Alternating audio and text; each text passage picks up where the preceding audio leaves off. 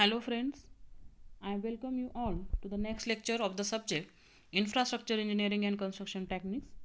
So, in last lecture, we had a discussion about the various well point systems along with the electroosmosis method and vacuum dewatering. Now, after that, we had a discussion about the construction of a diaphragm wall. Now, in this lecture, we are going to discuss the next important point that is grouting. So, grouting is the process of filling voids or fissures in rock formations, foundations, road beds, mine shafts, etc. with an accurately mixture of water, cement and admixtures by applying pressure through equipment.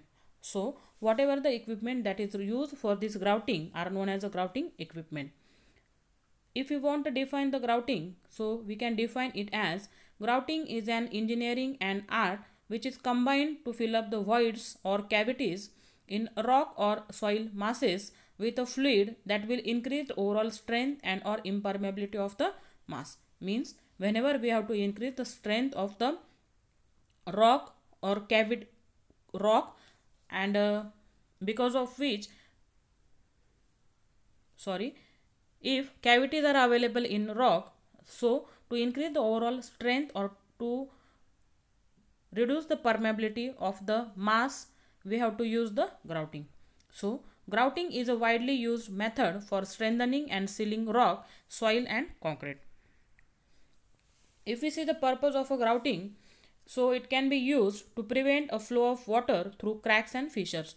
So when there is a formation of cracks and fissures on any surface to avoid such to avoid the flow of water through such cracks and fissures it is necessary to have a grouting on that surface.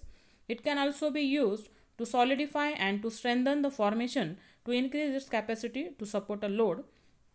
It can also be used to reduce or eliminate the flow of water under a dam or into a tunnel so dam and tunnel are the places where there is 100% introduction of a water. So to reduce or to eliminate the flow of water under dam and tunnel, it is necessary to go for the grouting.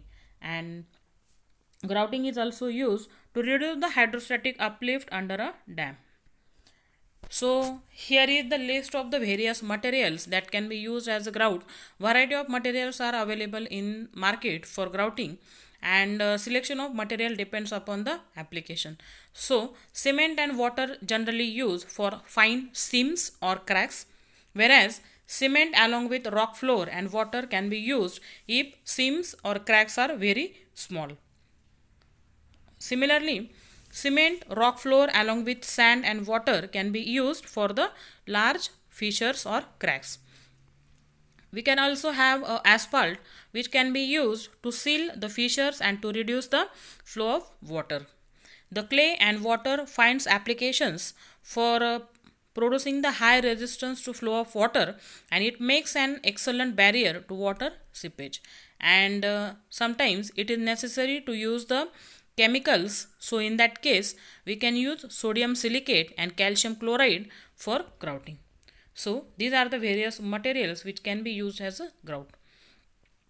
If we see the various techniques available, the one of the most popular technique that is used widely is a jet grouting.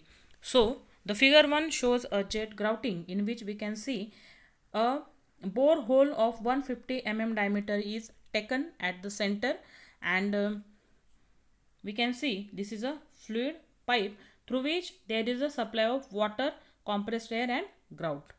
And uh, drilling rig is also provided. So this jet grouting generally suitable for clayey soil and for weak rocks. And it is a 150 mm diameter bore hole from which a drill pipe is lowered which conveys pumped water compressed air and grout fluid. And drill pipe is having lower jet as well as upper jet from which a pressurized material is injected. Suppose we have to carry out the grouting to this area so, the material that is water, compressed air and grout is applied on this surface and passed through this fluid pipe so that grouting can be done. So, here this surface is grouted. So this is about the jet grouting. If we see the applications of jet grouting, it can be used for various purposes.